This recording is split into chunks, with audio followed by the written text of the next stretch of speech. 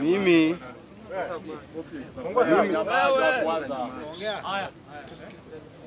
eh, mimi ni Mluya ambaye niko na macho ya kiroho na niliambia walio wenzangu mapema, niliangalia na macho ya kiroho nikiwaambia hii serikali sio mzuri, hawakusikia.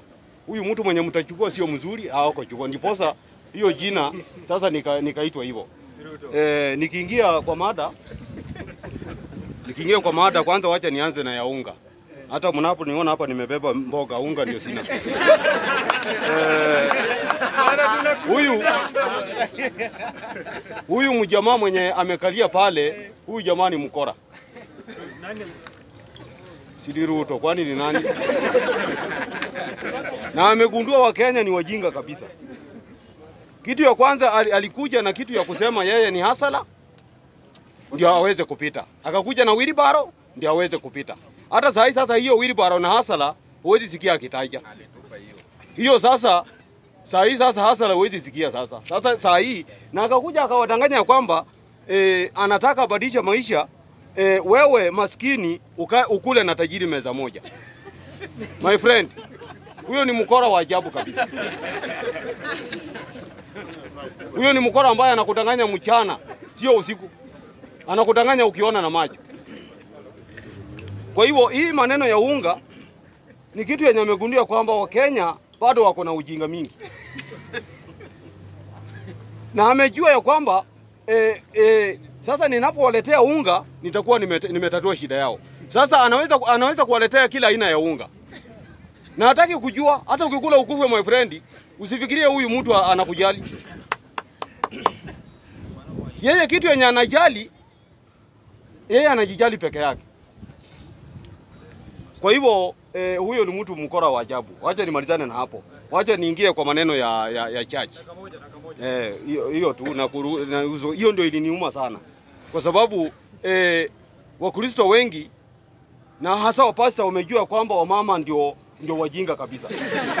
na ukitaka kujua, fanya research, uangalie makanisa yote, utakuta unakuta wanaume wawili hapo, wamama ndio wengi yeah?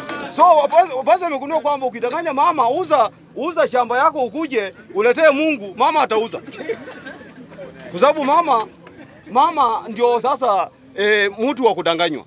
Lakini nashukuru nyinyi wanaume muko sio, sisi sio watu wa kudanganywa holela holela, na ninashukuru sana e, hii kanisa ya Kiislamu.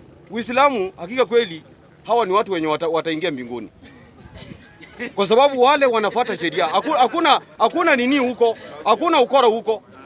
Na ukiangalia makanisa ya saa hii unakuta pasta anakuja kuhubiri e, maskari wametangulia wame- wame mbele, wengine wanamfuata. My friend, mtu wa Mungu analindwanga na namna gani? Mtu wa Mungu unaenda, malaika peke yake ndio inakulinda, sio ati unaenda maskari ndio wanakulinda eh? Nilisikia mwingine akiambia, kuna mwingine jirani yetu hapa, nilisikia akiambia watu kwa kanisa yake, alikuwa na kakruseti hapa, aka- akawaambia nataka niki, ni- nikienda pale, nikienda hapo kwa uwanja, sitaki kutaja jina, ako hapa nikienda pale kwa uwanja nataka munipepe kabisa, munipepe, nataka munipepe, munipepe juu kabisa. Sasa naenda kuhubiri, my friend. Tunamjua. Kwa hivyo eh, kitu yenye tu, kitu yenye tutafanya eh, wewe hata sio lazima uende kanisani my friend.